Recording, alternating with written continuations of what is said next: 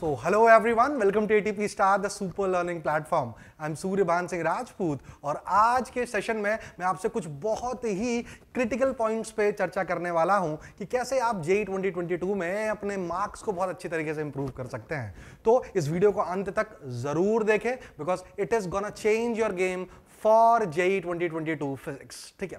देखिए, हालाँकि कोरोना की वापस से आपको सबको पता है थर्ड वेव आ चुकी है राइट तो कई बच्चे अभी सेटबैक हो चुके हैं कि नहीं यार, अभी थोड़ा इंतज़ार करें, थोड़ा रुके, पर यह सेटबैक होने का टाइम नहीं है बेटा, ये लीड लेने का टाइम है। अगर आप अभी यहाँ पे लीड लोगे then you can obviously score a very good mark other than the competition right तो इस बात को आप सबसे पहले ध्यान में रख लें। क्या आप अपनी हेल्थ अपनी फैमिली की केयर करें? साथ ही साथ में आपको अभी सेटबैक नहीं होना है। जिन्होंने अभी थोड़े दिनों के लिए सेटबैक हो चुके हैं, बेटा वापस से बैक ऑन द ट्रैक हो जाओ because the competition is going to be very high this time it तो इस बात का बहुत ध्यान, अच्छे से ध्यान रखें कि भैया, अपने को अभी एकदम रोलिंग में आना है रोलिंग मोशन में आना है, ठीक है? We can't stop right now clear है कि नहीं? अभी कोई भी स्लिपिंग हम बिल्कुल भी अटेन नहीं कर सकते हैं. We have to be in the rolling ठीक है? तो वीडियो के अंत तक ज़रूर बने रहें और इसको पूरे अच्छे तरीके से देखिए. मैंने सारे छोटे छोटे पॉइंट्स को ब्रेक डाउन करने की कोशिश की है. आपकी जितनी समस्या है, मैंने उनको भी लिखा है और उसका क्या रेजोल्यूशन हो सकता है, मैं ये भी देने की कोशिश करूँगा. तो वीडियो के अंत तक आप ज़रूर कुछ ना कुछ एक ऐसी टिप लेके जाएँगे जो आपके आने वाली प्रिपरेशन में बहुत काम करने वाली है. चलिए दोस्त शुरू करते हैं। तो सबसे पहले way to score 99 percentile in physics देखिए क्या है आपको पता है जो मेंस का पेपर है राइट पिछले दो तीन साल का आप उठा के देखेंगे तो specifically it covers all the surface ठीक है? तो मैं आपको सबसे पहले तो यही एक आइडियोलॉजी uh, देना चाहूँगा कि अपने दिमाग में रहता है कि यार फिजिक्स अगर नहीं बन रही है तो कुछ चैप्टर छोड़ देता हूँ कुछ चैप्टर्स कर लेता हूँ। ये चीज़ आप कभी मत करना। क्यों? क्योंकि जो मेंस का पेपर आ रहा है that is not on a tougher side right तो आपको आना तो सब कुछ चाहिए और कैसे क्या करना है सब चीज़ें अपन चर्चा करेंगे। सबसे पहले इंपॉर्टेंट बात आती है that is faith in yourself make sure करें बेटा। आप इस पॉइंट ऑफ़ टाइम पे भी खड़े हैं। अगर आपने कई बच्चों ने इनमें से ड्रॉप भी लिया होगा, कई बच्चों ने ये भी सोचा होगा कि यार अगली साल अपन फोड़ेंगे, पर कहीं ना कहीं डाउन द लाइन हम अपने गोल से थोड़ा सा डिस्ट्रैक्ट हो गए हैं। तो बेटा this is the right time this is the right time to grab the goal again ठीक है? अभी भी अगर आप थोड़े बहुत डिस्ट्रैक्टेड हैं बेटा सो डोंट मिस इट ठीक है? क्योंकि अगर आपने इतना समय लेके अपना ड्रॉप लिया हुआ है, या फिर जिन बच्चों ने ड्रॉप नहीं भी लिया हुआ है बेटा, उनके लिए भी ये बात बोलूँगा कि बेटा कॉम्पिटिशन बहुत टफ है। तो अभी जो अपने थोड़े से गोल से डिस्ट्रैक्ट हो गए बेटा, आप वापस से आ जाओ चैनल लिस्ट पे। लेकिन आने के लिए सबसे पहले अपने आप को यकीन होना अपने आप पे यकीन करना पड़ेगा। अगर आपको खुद पे ही यकीन नहीं है तो फिर क्या जमाना, क्या दुनिया? राइट तो पहले आपको खुद पे भी यकीन करना पड़ेगा। सही है कि नहीं? चलते हैं आगे की तरफ़। If you have a faith in yourself then only this whole video is for you ठीक है? अगर आप पे खुद पे यकीन नहीं है तो फिर तो भाई दुनिया की कोई ताकत आपको एग्ज़ाम क्रैक करने से नहीं रोक सकती, कि रोक सकती है? हर कोई ताकत आपको रोकेगी अगर आपके पास फेथ नहीं है। ठीक है, लेकिन आपके पास फेथ है तो दुनिया की कोई भी ताकत आपको नहीं रोक सकती है। सबसे बस बिलीव इन योर सेल्फ अभी भी ज़्यादा समय नहीं हुआ है। अभी आपके पास जो समय है, उसको लेकिन इफेक्टिवली यूटिलाइज करना है। कैसे? तो लेट अस सी सबसे पहले तो सबसे पहले मैं आपको ये बताना चाहूँगा कि अगर आप किसी अनऑर्गेनाइज्ड कोर्स में हैं, जहाँ पे आपके डाउट्स को टाइम नहीं दिया जा रहा है, या फिर आप ऐसे कोर्स से पढ़ रहे हैं जहाँ पे सिलेबस बहुत पीछे चल रहा है, या फिर आपको लग नहीं रहा है कि अगले एक महीने में आप कर लेंगे then it's very critical for you to join an organise bus right now क्यों? क्योंकि अभी जो बचा हुआ समय है, ये आपके लिए और आपके यू नो आपकी प्रिपरेशन के लिए बहुत ज़्यादा इंपॉर्टेंट है राइट तो इस टाइम पे अभी कोई डिसऑर्गेनाइज बैच के साथ आप बिल्कुल ना जाएँ। ठीक है? क्योंकि ये बचा हुआ समय सिर्फ़ आपका है और आपकी प्रिपरेशन का है। अगर आपने कोई डिसऑर्गेनाइज बैच अगर मान लीजिए ज्वाइन कर भी रखा है तो आप वहाँ से बोलिए, उनको प्रेशर डालिए कि भैया हमारा कोर्स जो है, वो या तो पहली बार टाइमली हो और दूसरा हमें रेलिवेंसी चाहिए, हमारे फ्रीक्वेंट टेस्ट होने चाहिए, ताकि आप अपने ट्रैक से डिस्ट्रैक्ट ना हो। क्लियर है? क्लियर है. So we have this RBC 3.0 हमारा जो रैंक बूस्टिंग कोर्स है, बहुत सारे आईटीएंस एंड आईटीएंस हमारे इस बैच से लेके हैं। ये हमारा लेजेंडरी बैच है टू बी वेरी ऑनेस्ट यहाँ पे हम बहुत ही ज़्यादा रिलेवेंसी से कंटेंट को पढ़ाते हैं। एंड वी मेक श्योर कि टाइमली हम आपका कोर्स ज़रूर जल्द से जल्द पूरा कराएँ ताकि आपके पास रिवीजन करने का भी पर्पज हो और टाइम हो। All right everyone so you can actually check the Google link down below जहाँ पे हमने इस बैच की डिटेल्स आपके लिए डाल रखी है। ये बैच अभी रिसेंटली स्टार्ट हुआ है तो ज़्यादा इसमें ऐसा कुछ नहीं है। You can actually join it right now this is for both offline and online now moving on the second important thing is assessing yourself ठीक है? This is the game here छोटे। Sorry this is the game here ठीक है? तो अभी अगर मैं बात करूँ एसेसिंग योर सेल्फ का है।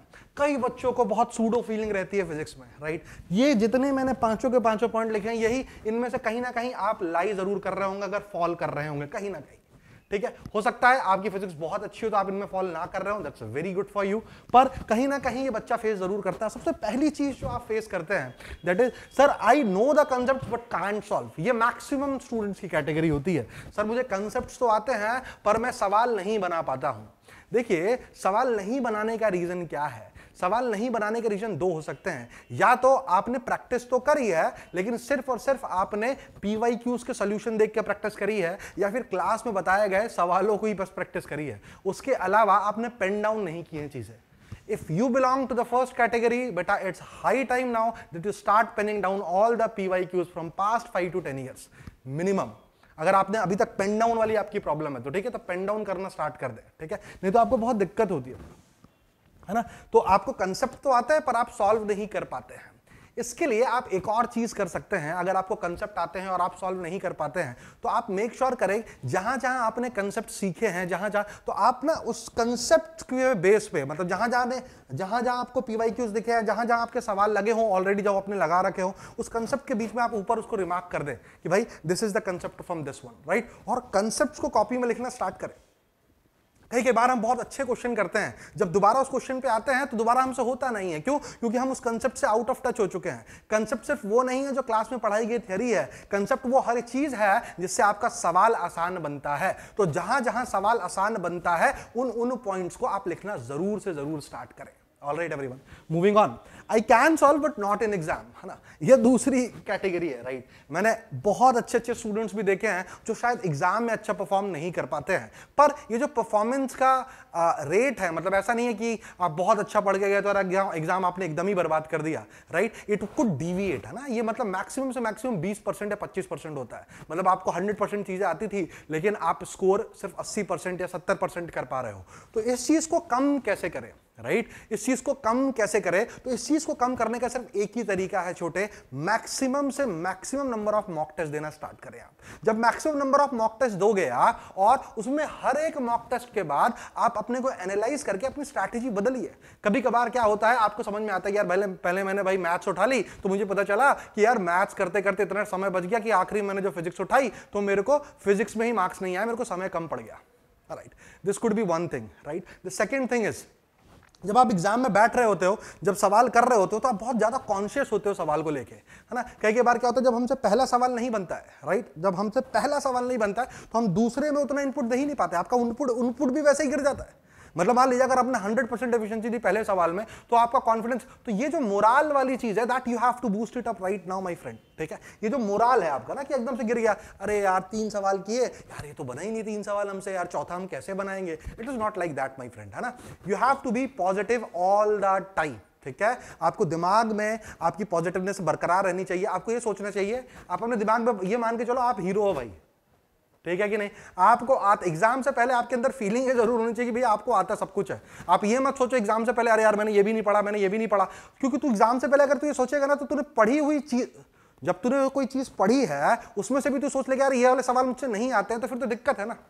फिर तेरा मोरल गिर गया ना पूरे चैप्टर का। आप सोचो कि एक चैप्टर को बनाने के लिए कितना बड़ा मोरल लगता है। कि नहीं यार, ये चैप्टर तो तुम कहीं पूछ लो मुझसे आ गया तो मेक श्योर करें ये वाली चीज़ जो मैं बोल रहा हूँ। I can solve but not an exam ठीक है? Try to improve it improve करने के तरीके क्या है? आप मैक्सिमम एग्ज़ाम्स दे सकते हैं। जितने मॉक टेस्ट हो आप दे, और मॉक टेस्ट में एनालाइज करें कि क्या क्या गलतियाँ रह गई। उस पेपर को आके दोबारा से देखे। अरे यार, ये गलती थी। और मार्क करें रिमार्क लिखे कि नहीं, भैया, ये गलती हमें नहीं करनी है। आप देखेंगे कि आप जैसे जैसे दो या तीन मॉक टेस्ट देंगे, ये गलती आपकी पच्चीस परसेंट से मिनिमम आप पंद्रह परसेंट पे तो आ ही सकते हो, है ना? उसके आगे के लिए आपको और ज़्यादा डिटर्मिनेशन चाहिए बट इट्स क्वाइट गुड आपको जितना आता था, आपने उसका नब्बे परसेंट दिया एट्टी फाइव परसेंट दिया it's very good to be very honest ठीक है? चलते हैं आगे की तरफ़। My efficiency is low this is the thing my efficiency is low मतलब मैं क्या करता हूँ? मैं सवाल तो करता हूँ, लेकिन सर मेरी नेगेटिव्स बहुत होते हैं।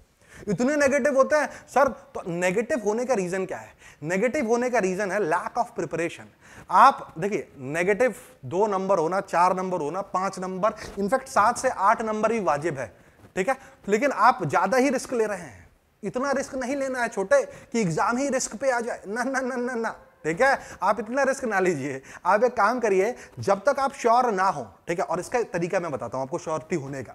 आपको ये दिमाग में पहले से क्लियर होना चाहिए कि आपको कौन से यूनिट्स बहुत आती हैं राइट और बहुत, मान लीजिएगा को कई सारी यूनिट्स बहुत आती हैं। जैसे मान लो मेरे को, भैया मेरे को मैकेनिक्स आती है सर मुझे इलेक्ट्रोडायनामिक्स आती है, मुझे एच आती है हीट एंड थर्मोडायनामिक्स तो मैं क्या करूँगा, उन क्वेश्चन के अंदर मैं अपनी कैपेसिटी को ज़्यादा पुश करूँगा, लेकिन अगर मुझे कोई ऐसी चीज़ जिसमें थोड़ा सा मुझे डर है यार, भैया, ये वाला कंसेप्ट मुझे नहीं आता है, उसके अंदर अगर मेरा परफेक्ट आंसर नहीं आएगा तो आई वॉन्ट टिकट करेक्ट है कि नहीं? आप बुद्धि वहीं लगा सकते हैं जहाँ पे आपने चीज़ें ऑलरेडी पढ़ रखी हो, जहाँ से चीज़ें आप थोड़ा सा डिबेट कर पाए खुद से। अगर आप खुद से डिबेट नहीं कर पा रहे हैं किसी सवाल के अंदर then don't blindly mark it now my friends all right right? और ये ये भी कहाँ पे कहाँ पे कहाँ पे डिबेट कर पाओगे? आप जाओ, जो कॉन्सेप्ट आपने बहुत अच्छे से पढ़ रखा तो मेक श्योर sure करें, आप ये गलती ना करें।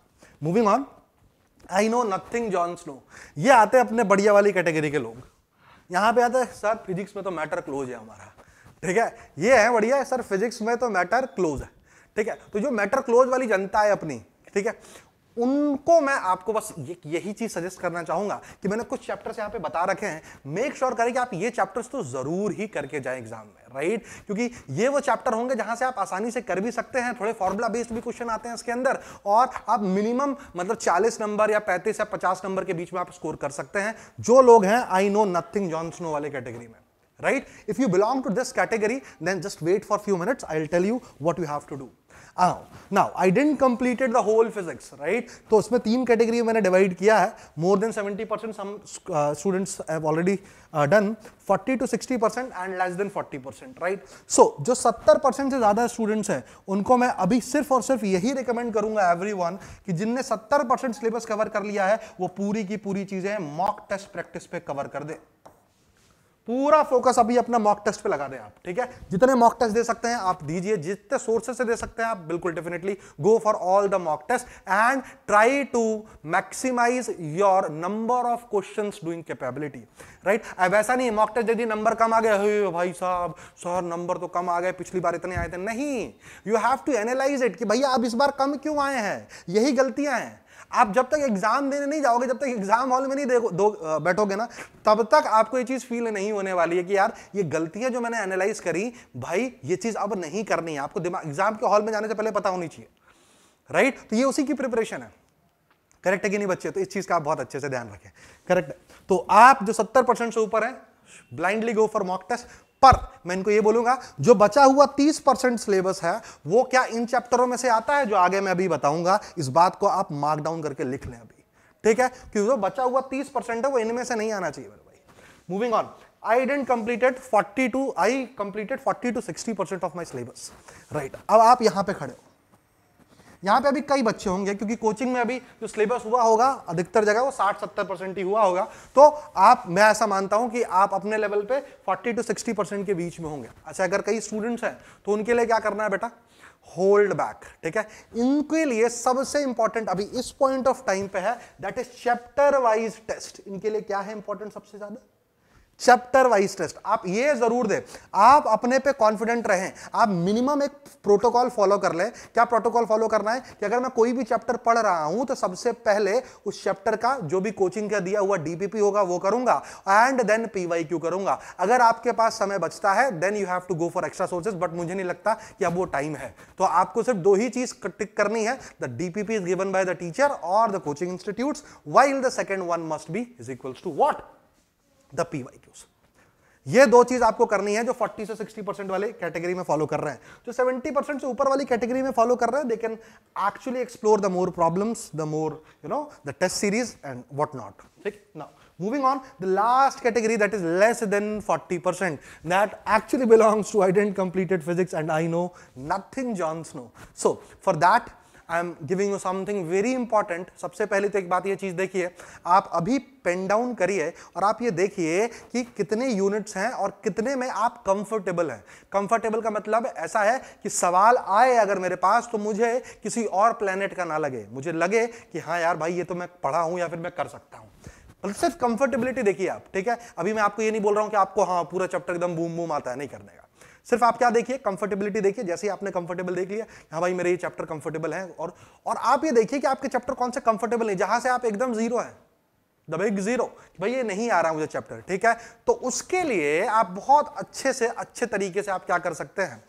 आप उसके लिए, आपके जो भी नोट्स हैं, जो भी आपने पढ़ रखे हैं, ठीक है? इसके लिए एक गाइड की बहुत ज़्यादा ज़रूरत है ना? आपके पास एक मेंटर होना बहुत ज़रूरी है, आपके पास एक गाइड होना ज़रूरी है कि अगर आप इस कैटेगरी में फॉलो कर रहे हैं ठीक है? मैं तो आपको बस इतना बता सकता हूँ कि कौन सा वो इंपॉर्टेंट चैप्टर है, जहाँ से आप अपनी डूबती नैया को पार लगा सकते हैं। लेकिन आई वुड स्टिल रिकमेंड क्या कि मेंस में आपको पढ़ना बहुत ज़्यादा है। मतलब ऊपर की चीज़ें सारी आपको आनी चाहिए। But still I would recommend कि भाई आपके पास एक गाइड होना चाहिए मतलब एक मेंटोर होना चाहिए, जो आपको तरीके से गाइड करे। पर मैं यहाँ पे आपको यही गाइड करना चाहूँगा, जो आने वाले चैप्टर्स का मैं नाम ले रहा हूँ, ये तो मस्ट है बेटा। बचे हुए समय में सबसे ज़्यादा इन पे फोकस करके इनका मैटर क्लोज करने की कोशिश करो। ऑल राइट एवरी तो बाकी जो बचे हुए चैप्टर्स हैं मतलब इनके अलावा जो बचे हुए चैप्टर्स हैं, उनको आपको कैसे जाना है that we will discuss in next slide now moving on तो हाँ तो ये बात कर रहा था मैं। साथ में एक और पॉइंट है that is relative sorry relevant material solving आप हर कुछ सॉल्व नहीं कर सकते हो। This is high time this is high time बेटा, कि अगर आप हर कुछ सॉल्व करने जा रहे हो तो आपका टाइम बहुत ज़्यादा मिसमैनेज होने वाला है। तो मेक श्योर sure करें कि आप हर कुछ सॉल्व ना करें रिलेवेंट सॉल्विंग करें पीवाई क्यूज करें क्लास के दिए गए नोट्स दें और बहुत अच्छे से रिवाइज करने को, उन्हीं को कोशिश करें, जो आपके पास लिमिटेड रिसोर्सेज है, ठीक है? It's not time to explore if you have if you are fallen in these two categories all right everyone all right see so आगे की तरफ़ चलते हैं। सो मस्ट डू चैप्टर्स के मैंने नाम लिखे हैं।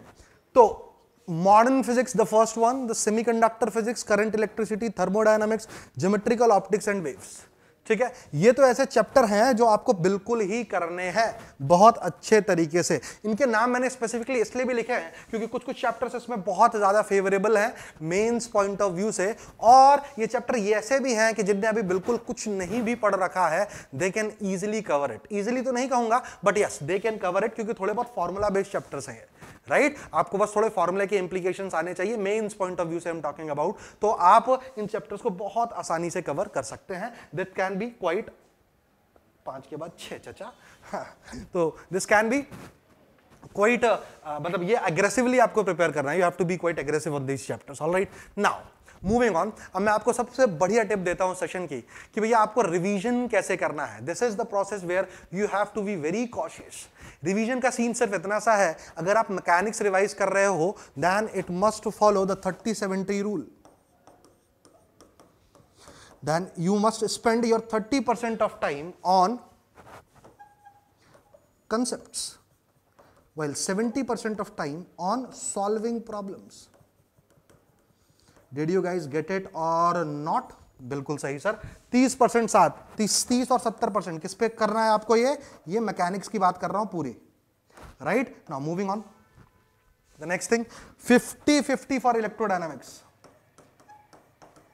कैसा करना है बेटा आपको? 50 50 फॉर इलेक्ट्रोडायनामिक्स मतलब इलेक्ट्रो इलेक्ट्रोस्टार्ट से लेके एसी तक 50 परसेंट मतलब जो समय है आपका कंसेप्ट बिल्डिंग पे भी उतना देंगे जितना सवाल पे दे रहे हैं। And the last is that is 40 60 miscellaneous जो बाकी बचे चैप्टर्स हैं। सही है कि नहीं? जो बाकी बचे चैप्टर्स हैं, उन पे आप 40 60 करेक्ट है? मतलब 40 परसेंट आपको सॉरी उल्टा हो गया ये, है ना? 40 परसेंट प्रॉब्लम सॉल्विंग और 60 परसेंट थियरी थोड़े फॉर्मूला बेस्ड चैप्टर इसलिए क्लियर हुआ? तो इस चीज़ का आप बहुत अच्छे से नोट बना ले। भैया thirty seventy fifty fifty and forty sixty ठीक है। ना विद ऑल दीज डिस्कस ठीक है? मैं अभी अगला जो सेशन में लेके आने वाला हूँ, मैं इस पर ज़रूर लेके आऊँगा। क्या आप लोग ज़रूर कमेंट में नीचे लग के बताइएगा कि आपको ये सेशन चाहिए कि नहीं। जितने भी मस्ट डू चैप्टर्स हैं या फिर जितने भी इंपॉर्टेंट चैप्टर्स हैं, उनके इंपॉर्टेंट टॉपिक्स के कहाँ से आपको सवाल बनाने हैं और कैसे बनाने हैं that we will definitely discuss in our next video so I make sure once again start making short notes now the first important point once more क्या अगर अभी तक आपने शॉर्ट नोट्स नहीं बनाए बेटा मेक श्योर करें आप अपने शॉर्ट नोट्स बनाएँ और बहुत अच्छे से उस शॉर्ट नोट्स को फॉलो करें because this is the high time to make a short note and revise it frequently आपको हर वीक शॉर्ट नोट रिवाइज करने ही है। ये आप अपने एक डेली रूटीन में डाल ले। Now and I hope everyone get their dream college and dream life तो मैं इसी के साथ ही आशा करता हूँ कि आप लोग अपनी ज़िंदगी में बहुत हैप्पी रहें, बहुत खुश रहें and once more happy new year to all of my students across India so that's it for today class thank you for patient listening